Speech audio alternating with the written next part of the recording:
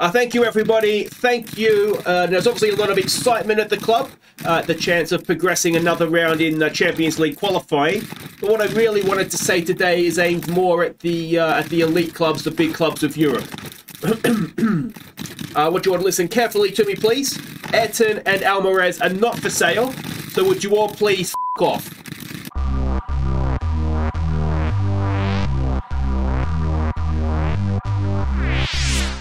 Guys, I'm Aussie Villain, and welcome back to Queen of the South. It is season 10, episode 2 today, and we're going to face PSG. No, we're not PSV even. Hopefully, we're going to get past them and then have the first leg of the final qualifying round, the playoff qualifying playoff.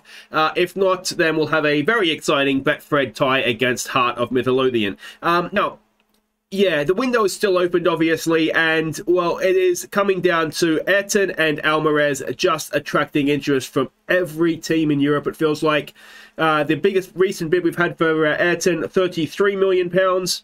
Uh, that was from Hertha Berlin, which we rejected, which is fine. He he's only really interested in talking to Manchester City, and uh, Walker, as I said last episode, has sort of talked him down. So that is looking all good. Uh, and Almarez is now the newest one. Uh, again, Walker has talked him down, but you can see 23 million from City, 28 million from uh, from Juventus, and a bit in there from Inter as well you just know I, I've played this game long enough to know that when deadline day comes around it's going to be very, very difficult to keep hold of these players if they start kicking off. Because what's going to happen is the whole the whole dressing room is going to come to me saying that they deserve this chance to you know to go and further their careers, and I am just really, really not looking forward to that. But uh, anyway, we're going to do our best. We don't have to sell them. They signed contracts with no release fees It's on them. Uh, all right, now we have one game to catch you up on since last episode. That was in the league against St Johnstone. Uh, so let's see if we can get a first win of the season in that one. Tom Bayliss gave us the lead. And Bermudez made it 2-0 at half-time. Before Eddie Johnson found young right back Amoruso to get a first for the club. So a really, really good performance this one from us. We controlled the game, we dominated the game. You can see from the XG tracker there, St Johnstone never really threatened us a little bit late on there, but uh, yeah, it was it was quite good. We went with wingers for this one, um, partly just to change it up a little bit, but also because they were a gegenpress and I wanted to try and spread the field. If they're going to try and press us like headless chickens, uh, we want to give them a little bit further to run. So that's what we did. Celino's had a troubling start to the season in that he hasn't really played well, uh, but yeah, generally speaking, all good and the uh, the league table now looks a little bit better for us with that win. Of course, we drew Celtic in the opening game of the season, and uh, well, we're all about PSV and the Champions League right now. It was 4 2, if you remember, uh, when we played them at their place. And now we come to our place and uh, you can see there all the first legs. And hopefully we're going to get a good result. This is a 4-2-3-1 that we're expecting from them. And the team we're sending out is more or less our strongest. Uh, it is Bursik in goal. It's Hansen, Toro, Leshy and Ayrton as the back four. Bruno, Mashagi and Almarez in midfield. Santos in behind Angus and uh, Diaz. Uh, the bench is fairly strong as well with uh, Perez the backup goalkeeper. Walker, Muros Irving, Bayliss, who's got a little bit of a knock, but it's nothing too serious, uh, along with Bermudez and Celino, who you can see averaging 6.55 from his uh, two games so far this season. All right, so we can see the team sheets there. I think those names look fairly familiar from the first leg, don't they? So I don't think they've made any new signings. Uh, all right. Do not allow complacency. I think that's kind of what we've got to say there, isn't it? Bruno's demotivated. Hopefully, we can win him back around. We can. All right, let's go score some goals. Two uh, two goals to play with. Uh, obviously, the plan here is just you know win at home. If we win the game, we don't have to worry about the aggregate score because we'll be through. Uh, they look like they've changed things up again a little bit. Uh, it's a little bit different to what we're expecting from them. But uh, I mean, they need to score goals if they want to sit back and and try and stop us from scoring. That's fine. Nil nil means we're through, and they're not. That is absolutely fine with me. That being said, let's try and score some goals. Uh, we oh, of course we're in front, aren't we? Uh, when I hit encourage there. All right. Anything? There's not really much happening on the transfer front just now. Uh, not much has changed since last episode. In that, any player that I want to sign right now, we're being outdone on wages with uh, mostly mostly uh, Bundesliga teams are the ones that we're losing out to. So that gives you a rough idea. You know the sort of the market that we're shopping in. Um, I am looking to see if we can upgrade at number 10, either Santos or Bermudez. And I'm also looking to see if there's a, a better maybe Mezzala to be had than than Bruno to as the sort of the replacement for Bayliss. Bayliss, I think we're probably past the days of him being first choice. He's still good, and he would still I still would not have no problem playing him in Europe. But I just think at 31 he's maybe just on the way down. There's a good ball in, and that's Johnny Angus at the back post. Ayrton with the cross. It is now 5-2 on aggregate, 1-0 on the night. And I think you'd back our defence not to concede, uh, what, would need to be three goals, wouldn't it, to get them level? There's no away goals now, of course. Johnny Angus, he's very useful in the air, isn't he? He's a really good all-round striker. He's one of those guys that it's not necessarily outstanding in any area, but he's really just solid in every area. You know, he's got passing and vision of 16, finishing of 16 or 15, heading probably is 15 as well. He is just really useful in that sense. Um, all right, don't get complacent. Bruno, what is your problem today, mate? All right, well, at least uh, fist pumping gets him back on side. Is there anybody on the bench we look to give game time to? Not really. It's a, we're sort of at the part of the season where you know, if you play here, you'll probably rest you next time, and and and we'll play the backups. Uh, as I said, the the game after this is Hearts in the Betfred. Now the board want us to make the final. Um, we won that, of course, last year. But that being said, I would like to, something like give Perez the backup goalkeeper a game. Um, we're not certainly not going to play our strongest side, and we will possibly look to give some youngsters some game time off the bench. Diaz, if he's on side, has been picked out wonderfully. And it's going to be a corner with it. So he was on side there. Diaz really should have done better with that chance. Santos with a corner. There it is. Back post. It is headed away, though. Can Bruno get there? He's going to. Leshy's in space if he wants to use him. He does. I love Leshy's uh, like bright green headband he always wears. Hansen, can he pull it back? Oh, he's oh he's done well in the end, but uh, can't pick out a teammate. Almarez has it. Back to Hansen. And we're just probing away here, which is absolutely fine. Can Hansen get down the outside? He's trying, isn't he? But he's, if you make a run made in behind, they'll probably find you. I mean, they're probably screaming at him, make a run, Hansen, you idiot. we'll try the other side. Bruno, look at the space that Ayrton has. Now, can he whip across in? Bruno is still there. We're going to try the same trick on the other side now. Ayrton Ah, there was no one really there. It's sort of fallen back for us, though, a little bit advantageously. And Almarez tries his luck, but just over the top. All right. As I've said, uh, Almarez and Ayrton are not kicking off. Uh, they, they tried to kick off when I rejected uh, Manchester City bids for both of them. But uh, we sent Andrew Walker, who is, as a reminder, our club captain, the centre-back he went and had a word to, and both of them were they were fine after that. So Andrew Walker, you know, if you wonder why he's still at the club, other than the fact he's Scottish and and uh, that we need those sorts of players in the European squad, um, he might be responsible for Ayrton and Almarez being here once the window closes. Oh, it's a decent header from Johnny Angus, but again, not quite good enough. I was going to have a look at Johnny Angus. What's his heading? yeah, he- or heading at 12, but he's got good jumping reach. He's just a really, really good, well-rounded player. All right, come on. He's sort of the, the typical, he's exactly what you would want, really, from a complete forward, because he can do a little bit of everything. And he's uh, got some defensive work to do here now. He hasn't really done it, and they've pulled one back. So it's 1-1 on the night, 5-3 on aggregate. Surely not. Let's have a look here.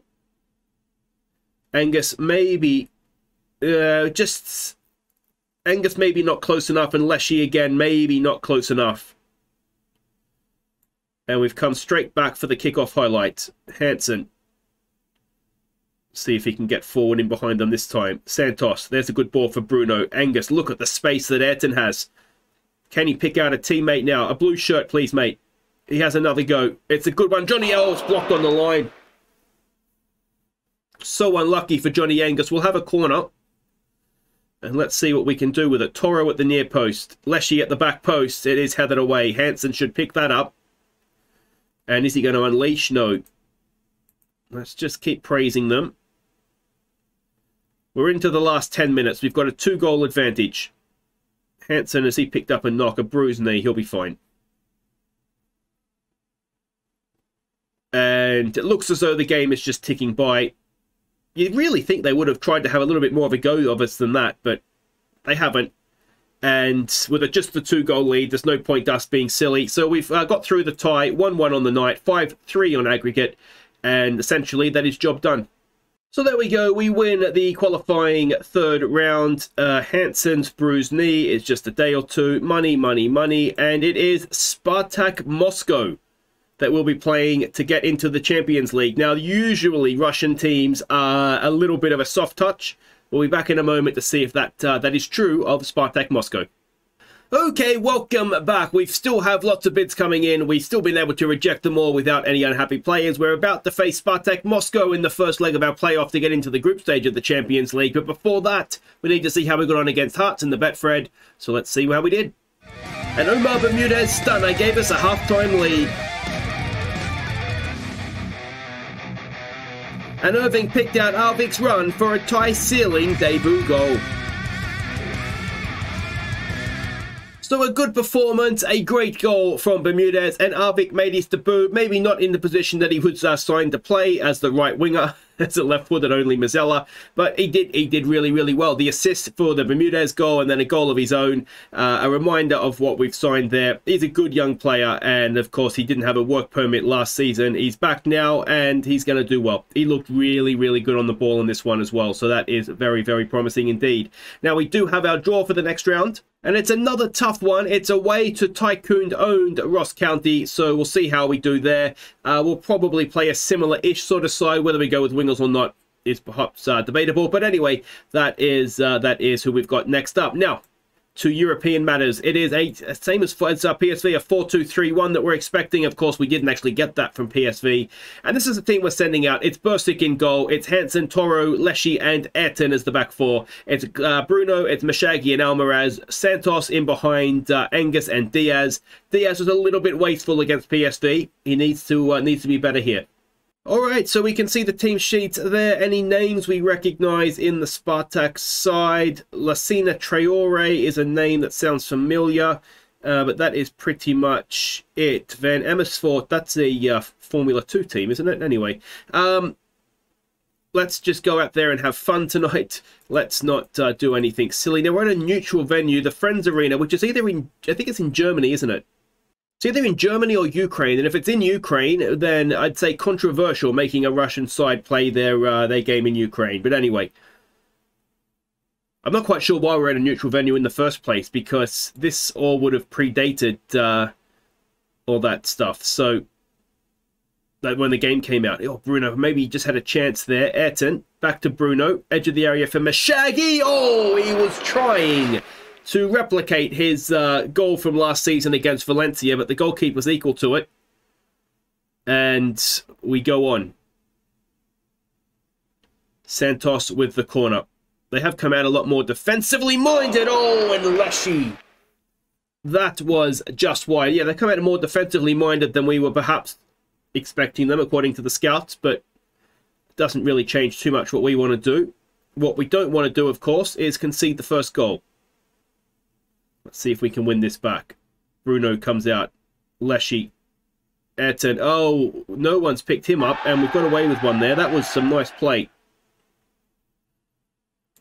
So we just need to be a little bit careful there, perhaps. And we've got another Spartak highlight now. Can we win this ball back? Bruno putting pressure on. Not quite, not quite able to get a foot in just yet. That's, uh, well, they're probing away, aren't they? But to our credit, we oh, and it's again uh, it's that ball through, and Bursik is level to the challenge. We'll tell him to focus, and we just need to be a little bit careful here. I wonder, are we playing a high line or are we playing a low line? I wonder if we actually want to maybe then push up just a little bit.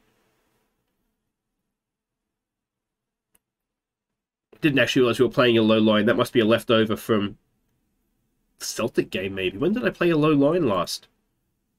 Anyway, let's try a demand more. That's only frustrated them. And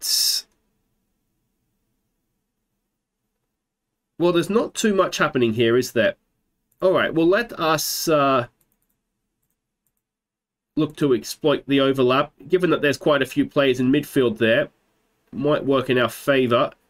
And it looks as though we have got an injury to Santos, which means Bermudez is going to have to come on. Uh, but if Bermudez can, can redo what he did against Hearts, that will work in our favour. All right, what do you want to say with this? Unlucky? You've done nothing wrong. I wouldn't say you've done much right, but we're trying to be positive. And we will get back out there. If we were to go back, you know, scoreless, there's no away goals. It would just mean win at home and we're through, which is a decent deal. I think we take... Oh, that's a penalty. Ayrton's gone down and well, VAR's going to check it, but if Ayrton goes down, he's an honest player. I can, I just know, I just know he's an honest player. There it is. He's given the penalty, and is it going to be Johnny Angus? It is. Can Johnny Angus get the second half off to the perfect start for us? Come on, mate. Johnny Angus. Oh, he goes straight down the middle. Was anybody else having flashbacks to last game of last season where he, he had the penalty late on to win the Golden Boot, and I think it was, was it to win or to tie against Celtic at the time. And uh, of course, he missed that one. But straight down the middle, roof of the net. Unless the goalkeeper stands perfectly still, he's not getting anywhere near that. It's a good penalty. So it's 1 0 away from home. This would uh, this would be a nice result to take home with us, but if we can get a second, it would be even nicer. Angus on the ball. Chips it towards Bermudez. He can't win the header, but Toro will pick it up. Toro gets it there for Almarez. Almarez threads a ball through for Diaz. Oh, and he's still not having the best time in front of goal. And in fact, we might call it on him and get Eddie Johnson on. We have high standards now. And you've got to be taking those chances. He had a really good chance against PSV. He didn't take, and that was another one.